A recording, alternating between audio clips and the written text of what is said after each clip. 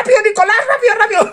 ¿Qué se me va a ir? ¿Qué tal, señores pelotamos? ¿Por qué amo los cortos? Desde, desde muy niño. Porque precisamente yo decía, ay, después van a decir que fui yo quien se copió. ¡No me humillas! Yo me he puesto canas. Y esas historias siempre inspiran. Oh.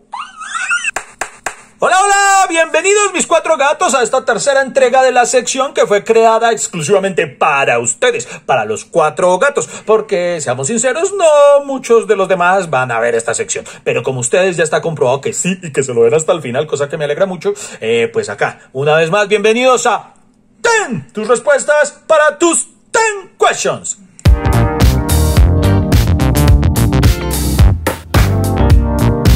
Listo, entramos en materia con la pregunta de Paulina Piñeros Vega. ¿Por qué en las películas de miedo siempre hay una puerta de la que sale la luz? ¿Qué hacen los espíritus allí? ¿Estarán haciendo fotocopias? Eh, hay que admitirlo que es una muy buena observación. ¿Qué puta están haciendo los fantasmas? Ahí deben estar los fantasmas en este momento. Así para asustar a los vivos. Es algo. Paulina, de verdad, quiero que ahora tú me respondas a mí. ¿Será que esa observación es tuya o la encontraste por ahí en internet? Porque está muy buena, para que pero te felicito. Pero entonces no cuenta como primera pregunta. Ahora sí vamos con la primera pregunta de Adeveritas. Arrancamos ahora sí con la pregunta número uno y es de Fernando Pacanchique. Uy, uy, eh, no me odies, Ferchito, pero, pero tienes que admitir que tu apellido es un poco curioso, ¿no? Eh, eso es muisca, eh, quechua, eh, ¿qué es esa vaina? Pero, pero bueno, Ferchito, aquí va tu pregunta. Ivancho, ya que estás explorando y evolucionando en tu faceta como escritor, ¿no has pensado en escribir un libro en torno al mundo de los cómics o el mundo geek en general? Sería muy interesante conocer tu visión como autor acerca del tema. Pues mi querido Fernando, sí, hermano, en efecto es una de las cosas que siempre he querido hacer. Obviamente, pues como siempre he estado tan inmerso en el mundo de los cómics, me encantaría, y además les cuento, escribir cómics. Es una de las cosas que cuando yo era más peladito tenía pues la, o cuando era peladito, es que más peladito hay quien lo, quien lo ve, eh, tenía la ilusión de algún día llegar a trabajar para DC Comics como escritor. Eh, ahora pues me gustaría, eh, tengo muchas ideas de, de, de cómics, incluso he conocido un par de ilustradores con los que de pronto eventualmente cuando cojamos el toro por los cuernos para sacar adelante este sueño, pues esperemos sorprenderlos. Y también un libro como tal de temática geek. por ejemplo, miren este libro que llama Lo que que quizá no sabías de Superman escrito por Javi Olivares, eh, un youtuber eh, geek, ñoño, de esos que me encanta ver, eh, que tiene un canal que se llama La Botella de Candor. Pues a mí me gustaría sacar como el equivalente a esto, todo lo que quizá no sabías de Batman, pero con datos y cosas de verdad muy, muy, muy extrañas de Batman. tengo un amigo que se llama Batitito, a quien ustedes vieron junto a mí en, la, en el debate que también está alojado aquí en el canal que tuvimos hablando de, de la película del Joker. Entonces con él hemos hablado de, pronto llegar a ser un libro así como eh, con cosas muy particulares y muy secretas acerca de Batman. Entonces, pues bueno, eh, ahí está. Espero que cuando esto sea una realidad eh, nos apoyen comprando eh, el libro y los cómics. Poder ñoño. Bueno, vamos con la pregunta número dos y es de da Dangreve, Dangre, bueno, Dangreve, eh, nickname, imagino. Eh, dice, pregunta, ¿alguna vez conociste un fan que fuera menor de edad, tipo que tenga 12 o 13 años? ¿Quién y en dónde? Bueno, eh, te cuento que sí, realmente sí. A decir verdad, luego de haber hecho Lego Batman, eh, me hice como a varios seguidores niños. Eh, tengo varias historias muy bonitas, pero para responder a tu pregunta, voy a reseñar dos en particular eh, de estos casos en los que eh, un seguidor termina trascendiendo a, amistad verdadera, de conocernos ya eh, mucho más allá. Entonces, por ejemplo, el primero, incluso son aún menores de lo que me preguntas, me preguntaste por 12 o 13 años, pues más pequeños aún. Mira, te quiero mostrar, este es este niño con el que tengo la foto, Santiago Molina, es súper, súper fan mío. Eh, John Molina, que es su papá, es un hombre que también pues es seguidor mío y pues como les, los casos que les digo que terminamos convirtiéndonos amigos, este man iba o pues iba cuando se podían hacer shows eh, a muchísimas de mis funciones y una particularidad es que eh, en cada ocasión que iba se tomaba una foto. Eh, en, la, la primera oportunidad que tuvo la, la, ocasión de ir con su hijo, eh, Santi, Santi me manifestó pues todo lo, fan que es, por ejemplo, de, de, de, Lego Batman. Y miren acá, quiero mostrarles. Yo guardo todo lo que me obsequian, todo lo que me obsequian mis seguidores para mí es demasiado valioso y pasa a formar parte de mi colección. Entonces, por ejemplo, miren, esto me lo hizo Santiago, ahí tiene una leyenda, eh, voy a intentar acercarla para ustedes para que lo vean. Esto lo dibujó él a mano y lo hizo. Esto, esto es, ¿cómo se llama? Balso, esto. Y mire, dice de Santiago Molina Castro para Iván Marín, te deseo un feliz cumpleaños y que cumplas muchos años más. Un regalo que, que me hizo eh, Santi, eh, un niño al que quiero muchísimo. Y también tengo otro caso parecido eh, otro caso similar de, de, un seguidor que terminó convirtiéndose, trascendiendo en amistad. Eh, Alex, Alex tiene una hija que se llama Sarita. Eh, Sarita tiene una historia muy bonita. Eh, es una niña que desde muy temprana edad tuvo que someterse a un trasplante de órganos y ella batalló por su vida. Hoy en día, gracias a Dios, está muy bien. Sus papás eh, tienen una tienda de juguetes que se llama Sarita Toys, por cierto. Aquí se los recomiendo. Miren, Sarita Toys para que lo sigan en Instagram y, y ellos traen todo tipo de juguetes para coleccionistas, para, para, niños normales, para, para los moguls también. eh, y ellos para una Navidad nos hicieron un regalo muy bonito a mi familia. Miren esto acá, eh, aquí se los quiero enseñar. Y pillen, pillen esto, esto es una locura. Miren, ustedes lo abren acá. Tan. Mire, vienen fotos de mi familia, eh, no sé cómo se le llama esto. Miren, aquí vienen más, más fotos de mi familia. Y miren, uno lo abre acá. Miren, toda esta vaina lo hicieron ellos, ellos hacen todas estas cosas. Y miren, aquí voy a acercar esto a la cámara para que vean precisamente una foto mía con Sarita. Sarita, ahí está, esta niña la quiero muchísimo y, y ella es divina. Cada vez que ve algo en alguna tienda o en la tienda que venden sus papás acerca de Batman, siempre, siempre piensa en mí, eh, me envía notas de voz eh, deseándome buenas cosas. Eh, pues juega mucho con mi hija cuando tenemos oportunidad de, de reunirnos las familias. Entonces, eh, pues estos dos casos en particular para responder a tu pregunta, pero sí, además tengo otras historias muy bonitas de, de, de niños que, como digo, luego del Lego Batman, eh, pues, eh, no sé, pues se acercaron a mi trabajo y ha sido algo muy, muy bonito porque ustedes no se imaginan el afecto tan hermoso que es, que, que se siente cuando, cuando hay un niño que a uno le, le, le manifiesta un abrazo. Eh, voy a contar una historia rápidamente. Estábamos para el lanzamiento de Lego Batman estaba yo realizando una firma de autógrafos. Estábamos en, en un centro comercial y entonces eh, pues yo estaba allí firmando varios afiches y se acercaron dos niñas, dos, dos gemelitas y entonces me empezaron a preguntar por, por los personajes de la película, que en el afiche salen muchos de los personajes y ellas me preguntaban, ¿y quién es esta? Y yo les decía, mira, esta es tal, esta es Batichica, qué tal cosa, y este es fulanito y, y ellas me dicen, ¿y, ¿y tú cómo sabes tanto? Y yo les digo, porque yo soy Batman. Y las dos hicieron así. Esa cara de ellas fue un poema. Ver esa inocencia de los niños es una cosa demasiado hermosa.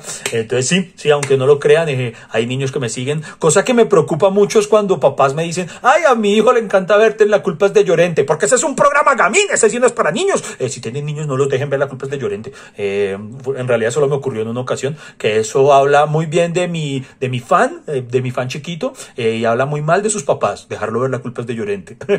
Siguiente pregunta. Pregunta número 3 de Alonso Cardona.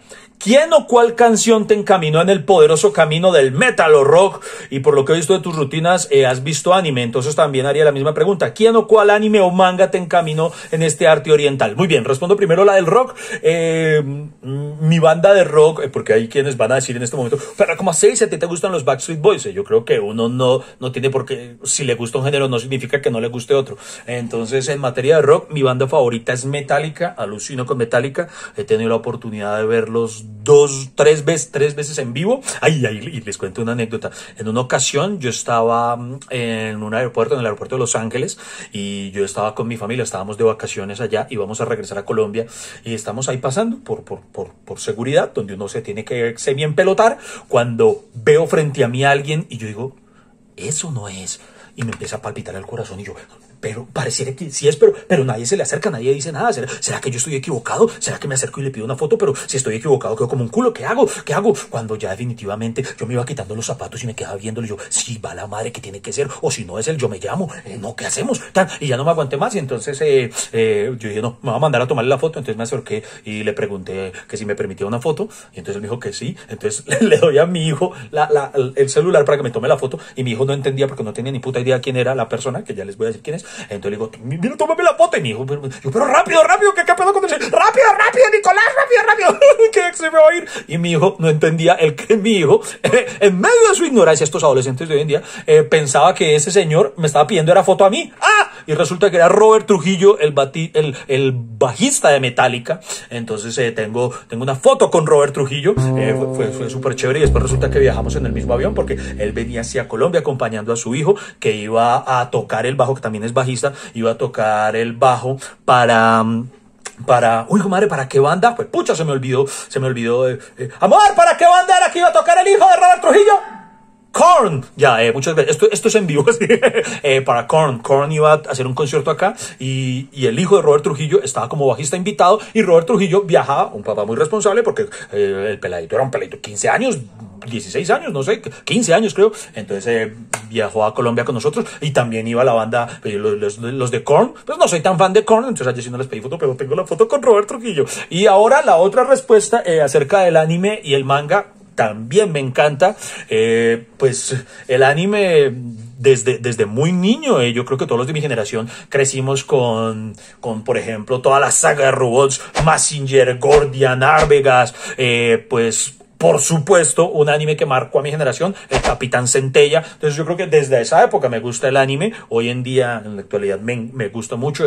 Estoy viéndome, estaba un poquito atrasadito, pero este aislamiento, cuarentena me ha servido para ponerme al día con, con varios de ellos. Eh, Seven Daily Scenes, eh, Full Metal Alchemist, eh, Sword of Line, eh, bueno, varios de esos también en manga. En manga tengo, tengo varios, venga, les voy a mostrar algunos. Eh, Billy, Billy the Bad, miren este otro, aquí tenemos Monster Collection. también tengo, miren, esta es una nota, Blackjack, miren, esto, este, este es una putería. bueno, mejor dicho, tengo varios, también me gusta el manga. en materia de manga, el que quiero, me quiero comprar una edición completa de tal vez una creería yo que puede ser mi anime favorito, Dead Note. Eh, entonces me gustaría comprarme todo Dead Note en una edición de lujo que una vez vi por ahí. Ay, pero no pudimos en ese momento. Eh, de, de, todo el manga, toda la serie de Dead Note. Y ya, y básicamente, pues eso. Siguiente pregunta, ¿cierto? Bueno, pregunta número 4 es de Ángel Arteaga. Dice, Iván, si mi esposa y mi amante son amigas, ¿cómo les insinúas un trío? Vida berraca, pero hay que... ¡Amor! Si una amante mía fuera amiga tuya, ¿cómo les podría proponer un trío? Pues diciéndole que quiere hacer un trío. Eh, bueno, mi esposa dice que así, que no más. Vea, cosas que uno descubre solamente proponiendo un trío.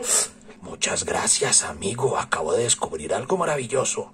Eh, pero bueno, eh, sin embargo, eh, como no todas las mujeres pueden ser tan amplias como mi esposa, lo entiendo, entonces eh, aquí les arrojo lo que se me ocurre. Eh, invítelas a las dos y, y, una borrachera. ponga pura música de Jesse Uribe. Entonces, eso mejor dicho, métales tequila y guaro. y cuando ya estén así bien brutos, dice, ¿qué tal si nos pelotamos? Y terminan y, entonces después pues le echan la culpa a Jesse Uribe, porque pues últimamente es la costumbre que a Jesse Uribe lo culpan de todo. Entonces, ahí está. ¿Mm?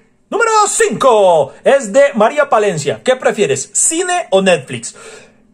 De lejos, cine. Miren, para mí ir a cine es uno de mis planes más placenteros y para mí es todo un ritual. Incluso yo tengo ciertas chocheras a la hora de ir al cine. Por ejemplo, chochera número uno. Si yo llego un minuto tarde, o sea, un minuto de que ya haya empezado la película, no entro, no entro. Prefiero esperarme dos horas para entrar a la siguiente función. E, e, es una chochera mía. Otra cosa, a mí me encanta ver los cortos. Me encanta ver los cortos. Me encanta ver los cortos. Y en cambio, a mi esposa los cortos le valen huevo. Le importan un culo. Entonces, por ejemplo, nosotros, yo siempre estoy así todo afanado en la confitería. Rápido, rápido. Y ella dice, ay, tranquilo que están en cortos. Y yo digo, ¡por eso! ¡Nos vamos a perder los cortos, vida berraca! Porque amo los cortos. Entonces, eh, pues esa es otra de las cosas que, que, que, tengo en medio de mi ritual. Lo otro es que a mí me... Oh, oh, alerta por subnormal. ¡Puta! La gente que no le para bolas a la hijo de película. Los que la pasan chateando durante la película. Yo, sé, yo eh, no tendría por qué importarme, pero, pero, pero, pero me emputa, sobre todo si la película es buena, porque siento que siento como que están ignorando el arte que está frente a nosotros. me de decir, quitarle eso de mierda y concéntrese, carajo. Lo mismo las parejitas que se besan, me da una rabia porque le digo, béseme a mí por lo menos. Eh, no sé, no mentir, no, no, no, no, no. Y, y ya, y básicamente eso. Entonces, eh, respuesta, prefiero cine. Pregunta número 6 de Elena Cárdenas. Dice, ¿has pensado en teñirte el cabello? Mira que técnicamente ya lo hice, pero, pero a diferencia de otros, eh, que, que es para ocultar sus canas, yo me he puesto canas. Eh, ¿Recuerdan este personaje? ¿Eh? César Humillán, el encantador de ñeros, que es un personaje que, por cierto, muchos de ustedes me han escrito que les gustaría que retomara aquí en el canal. Es un personaje que yo interpretaba en un proyecto que tuvimos que se llamaba Cinco Minutitos Más. Y, y, y ocurre algo muy curioso, que cuando yo me caracterizaba como César Humillán, eh, me decían, ¿cómo te lucen las canas, Iván? Y me lo decían tanto, me lo escribían muy rico, papito, rico, con todo canoso, cosa deliciosa, Dios mío, que, que yo en ese momento, yo me sentía como George Clooney, porque hay que admitir que George Clooney es otro canoso que vea. Entonces, no, entonces yo creo que si tu pregunta es, no sé, la interpreto de esa forma, si me llegaran a salir canas, si pensaría en teñírmelas, no, no, porque eh, descubrí accidentalmente, gracias a César Humillán, el encantador de ñeros, que, que, que eso me podría dar un sex appeal que creo no tengo en este momento con mi pelo negro. Pero lo bueno es que tenemos harto pelo. Mata de pelo, Juan María. Mata de pelo. Pregunta número 7 es de Juan Andrés Guerrero Ramos. Eh, no la voy a leer porque pues eh, realmente creo que esta pregunta debería responderla a mi hijo. Entonces lo vamos a llamar en caliente. Él no sabe. Ven, ven eh, lo acabo de interrumpir porque él no es como yo y entonces él sí hace ejercicio en medio de su cuarentena. Miren ese cuerpo de muchacho. Miren esta. Lo, lo, hago a domicilio, muchachas. Los ya, hago a domicilio. Bueno, mira, Nico. Pregunta Juan Andrés Guerrero Ramos. ¿Sabes qué siente tu hijo al saber que su padre es una celebridad del país? Ay, me dijo celebridad, gracias. Eh, responde, responde a ellos. No siento nada, nada, nada, nada, nada. Muchas gracias. Pues, te vale huevo, te... amigo, le importa un culo, le importa un culo, todo por lo que he luchado, para alimentarlo, para que no le falte nada, para que pueda hacer sus gran putos ejercicios, para que tenga pesas en casa, para que pueda lucir no estos pesas, brazos. No tengo no, pesas en casa. No me humilles, dile a la gente que sí tienes pesas en casa. Que muestre los pies, Sí, sí, ah, mire, mire, sí tiene. No levanta, tengo, levanta no, las no patas, levanta las patas, levanta no las patas. Mira, mira, mira, mira, mira, no son, son- son pesas. de pierna. No, no tiene pesas, tiene hasta pesas en el pipí. Muchachas, ni les cuento lo que tiene este muchacho. Bastante de la risa. Eh, muchas gracias por la respuesta. Eh, eh, cagada, si no fue la respuesta que ustedes querían escuchar, pero así, ve, a sudar, ve a sudar. Jean-Claude Van Damme, ¿qué haremos con? Ay, Dios mío. Pregunta número 8 de Jenny Paola Pérez. Jenny Paola me escribió, pero miren, mi- miren todo, todo, ese panfleto, Dios mío, mu- mujer, casi que escribes una novela. Voy a resumir, miren acá ella nos cuenta, ella es uno de los ejemplos que les digo de papás de sospechosa educación con sus hijos, porque, bueno, me, me expresa, voy a resumir, eh, cosas muy bonitas eh, de ella y su esposo. Dice que su hijo de seis años es pendiente de, mi- trabajo. Dice que el niño de las Marine News, uy, en las Marine News a veces decimos unas cositas, entonces, ¿cómo un niño de seis años ve, las Marine News? Pero eh, dice, se llama Iván Camilo, un besotote, un abrazotote, Iván Camilo, y entonces el niño dice que para él, Lego Batman es la mejor versión de una película de Batman. se los dije antes, muchachos, se los dije. Entonces la pregunta es, eh, ella quiere saber que, desde tu video, que, que si nos cuenta cómo fue mi experiencia en Lego Batman. Eh, les cuento, eh, aquí en el canal yo tengo un video en el que cuento toda la experiencia de Lego Batman. Lastimosamente, en la oportunidad que lo grabamos, el audio no fue muy bueno. Eh, pues ahí verás, si tienen mucha paciencia auditiva, los invito a que lo vean. Eh, como tal, el relato es, creo yo, es muy divertido y bacano, pero, pero el audio no es el mejor. Eh, lastimosamente, pues nos tocó subirlo así, porque igual era la opción de, de, de subirlo o no, pero cuando, mm, eh, cuando volvía yo a compartir esa, es- esa experiencia hacia ante un público, porque ese día lo presenté en, un, en, un- en una convención geek, eh, íbamos a hablar puntualmente de de Lego Batman, entonces yo dije, como no sé cuándo se vuelve a presentar la oportunidad de yo hablar de esto en público, pues eh, aún así subí el video, entonces si de pronto eh, tienen la paciencia, pues los invito a que entren a verlo, está en Rutinas Geek, creo, entonces ahí está mi experiencia, pues para no ponerme aquí a repetir, pero solo les puedo decir es de las cosas más especiales que me han ocurrido profesionalmente haber hecho a Lego Batman precisamente por esto, porque me mm, estableció un contacto con, con, los niños, con las nuevas generaciones de una manera demasiado bonita, además de que, pues imagínense, interpretar a, mi personaje, a mi personaje favorito, eso no, no tiene nombre en lo más mínimo. Eh, y por el otro lado que nos dice, eh, me pregunta también que si, que si pudieras invitar a Esperanza Gómez a tu programa Hablando Marinadas, ¿qué sería lo primero que le preguntarías? Espero algún día tener a Esperanza Gómez en Hablando Marinadas, pero pues me guardo la pregunta aquí, más bien cuando ocurra, pues ustedes lo van a ver, si algún día tenemos a Esperanza Gómez quizá en una tercera temporada Hablando Marinadas. Y ya, bueno, entonces muchísimas gracias eh, por ese cariño a esta familia tan hermosa.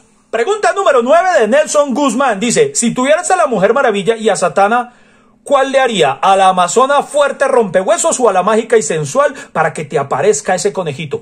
Eh, muy, muy, muy buena pregunta. Eh, eh, muy seguramente todos conocen a la Mujer Maravilla, pero también muy posiblemente un amplio número de los que están viendo este video no tengan la más mínima idea de quién es Satana. Satana es un personaje de DC Comics que es una maga que hay... Miren imágenes, mi- mi- miren, miren, miren, aquí les muestro. Miren, miren esa, eso, oh, oh, entonces, eh, entre la Mujer Maravilla y ella eh, sería complicado porque también miren estas imágenes de la Mujer Maravilla.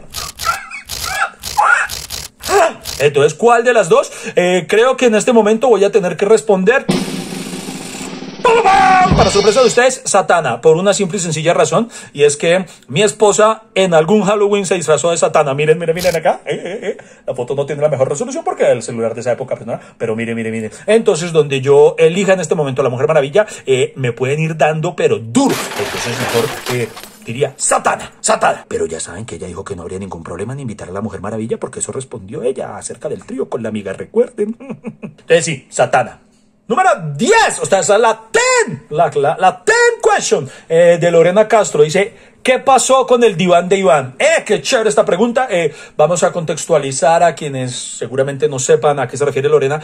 El diván de Iván es un show que yo realizaba... Eh, realicé dos temporadas de este show, era un show en vivo, eh, lo realizaba en un escenario de los más bonitos de Bogotá que se llama Cabaret, eh, y era un espectáculo en el cual fue el primero que hice entrevistas, entrevistas a personajes, incluso antes de One Piece, porque por ahí los haters que dicen, ay, es que usted se le copió One Piece, aunque no lo crean, yo eso ya lo hacía mucho antes, eh, y allí eh, las entrevistas eran tan solo una sección, el Diván Diván era un show que consistía en varias varios cuadros, por así decirlo, tenía varias partes y una de las secciones del diván diván era una charla con alguna personalidad eh, que, a la cual yo invitaba en esa oportunidad. Eh, incluso aquí en el canal, si van a las listas de reproducción, a las playlists, ahí, ahí creo que subimos unos cuantos videos de, del diván de Iván. Eh, no están en la mejor calidad porque no, cuando los hacíamos no, no teníamos como la visión de lo que podría ocurrir con ello, cosa que sí tuvo Alejo Riaño con Juan Piz, que cosa que le felicito porque fue un- un- una inspiración.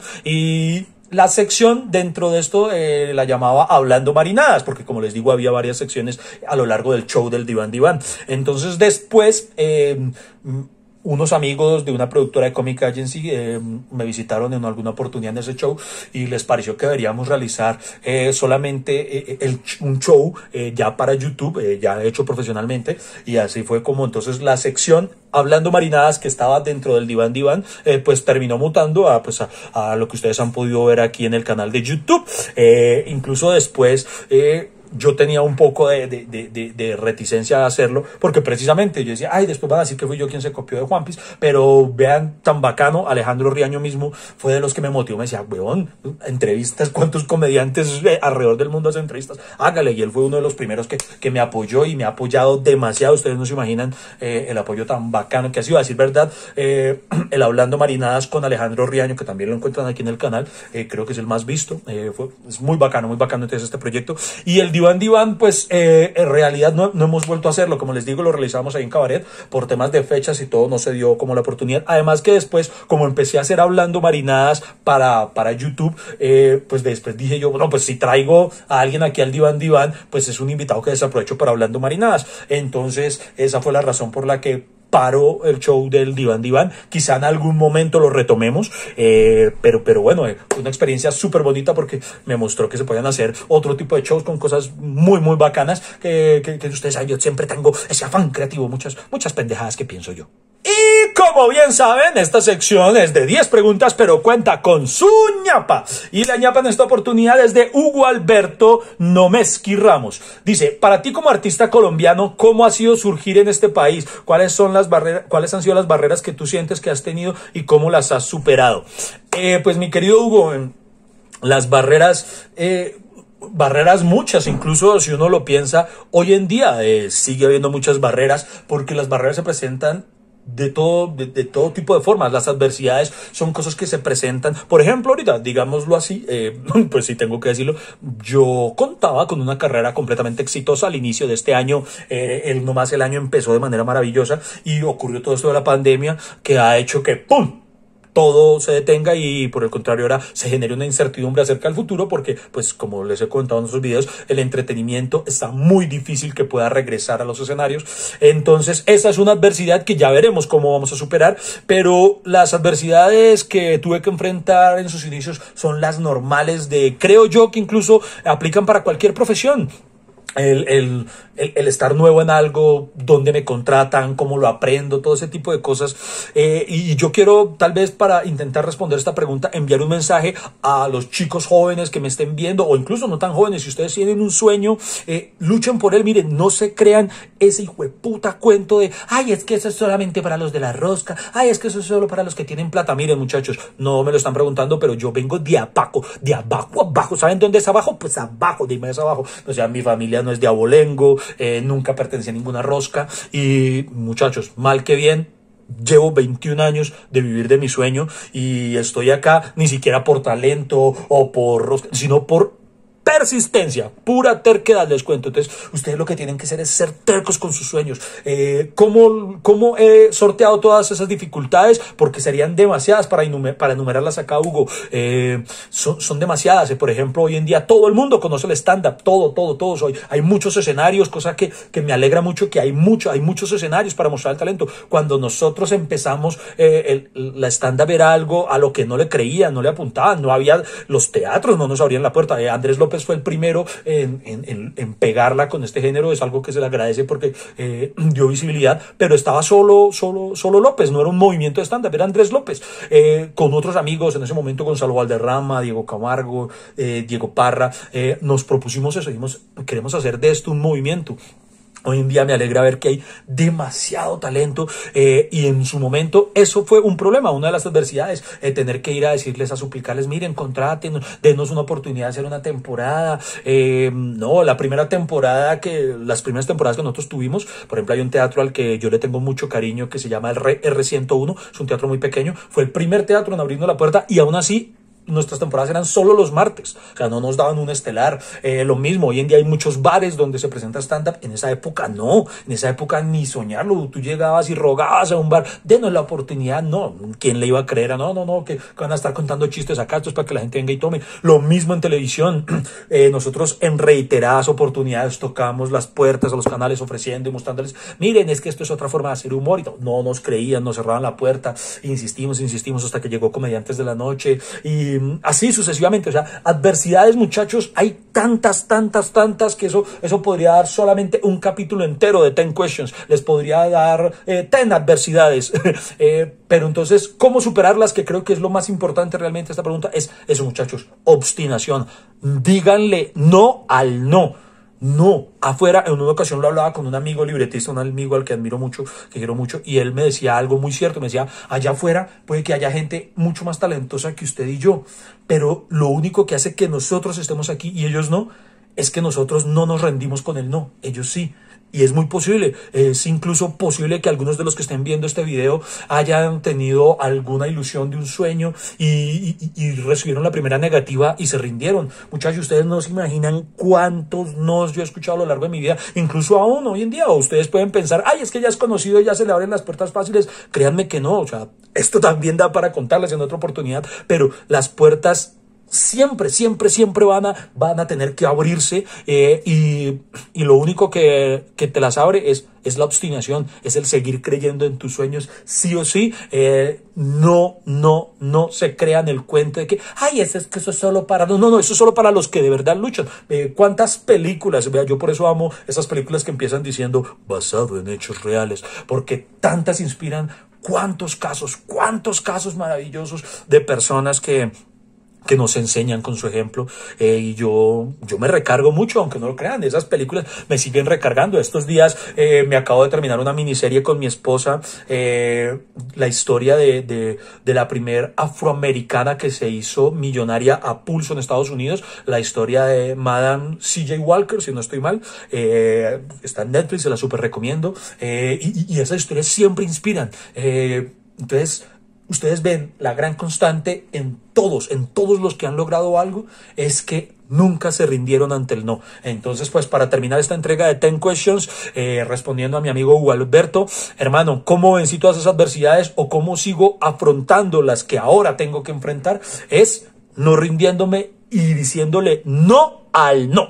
Entonces, espero que ustedes hagan eso. No al no. Ahí está, muchachos. Espero que hayan disfrutado de esta entrega de 10 tus respuestas para tus 10 questions. Eh, muchas gracias. Ustedes saben que esta sección nació precisamente pues como, a raíz del aislamiento, al, al, igual que la sección del aislamiento. Y estamos preparando pues más cositas eh, mientras podemos volver a los escenarios. Porque retomando, por ejemplo, la pregunta de Hugo eh, y mi respuesta, no nos vamos a rendir. Eh, pues por ahora no me puedo presentar los escenarios, pero hay otras formas alternativas de hacer humor que indudablemente ninguna va a reemplazar. No veo la hora de poder volver a estar ahí en vivo y en directo con ustedes, como, como, como es la esencia de esto, de, de, de la comedia. Entonces, mientras tanto, eh, esta sección, por ejemplo, eh, le he desarrollado un gran afecto porque me permite acercarme mucho más a ustedes, eh, que nuestro vínculo se fortalezca. Eh, para los cuatro gatos, que son los que están ahí siempre fieles, de verdad, de corazón, muchachos, mi Dios me los bendiga. Eh, quiero ser enfático en una cosa y es que muchos de ustedes incluso me han,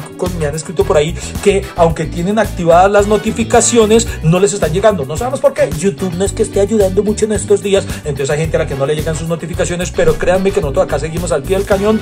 Toda la semana seguimos emitiendo dos videos. Aún estamos raspando esa olla para traerles rutinas. Eh, esta semana precisamente subimos una rutina de una presentación que tuve hace años en Argentina. En la semana pasada subí una que había hecho ya no recuerdo dónde acerca de los cuentos infantiles y tenemos otras rutinas que vamos a estar montando. Entonces, aún hay material de rutinas de stand-up y de muchas otras cosas. Entonces, si no le llegan las notificaciones, igual péguense la pasadita semanalmente que siempre van a encontrar aquí cositas nuevas que hacemos con mucho cariño para ustedes. Entonces, mis cuatro gatos se les quiere y nos vemos en el próximo video. Uy, ya me siento un youtuber profesional.